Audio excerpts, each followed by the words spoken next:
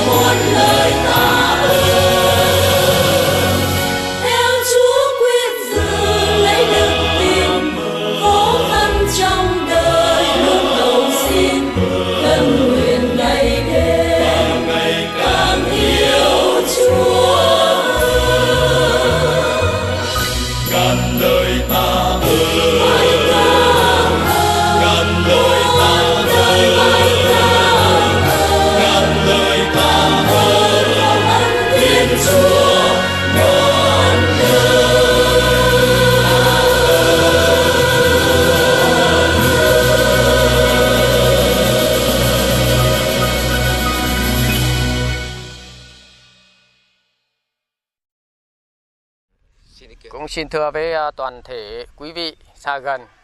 Ngôi thánh đường à, giáo hội đứng Trực khởi xướng đến nay là được một năm. Hiện nay đã hoàn thành được hai mái hạ và đăng lên à, coi tường hai, chuẩn bị coi như là tiến vào rồi coi là đổ hai mái thượng. Trong quá trình xây dựng, giáo họ cũng về phần kinh tế, kỹ sư cũng hạch toán cho giáo họ biết là hết tổng công trình hết khoảng tầm 20 tỷ Công trình à, xây dựng với à, mô hình chiều dài là 53 m, rộng 17 m, cao 17 m, tum cao 27 m.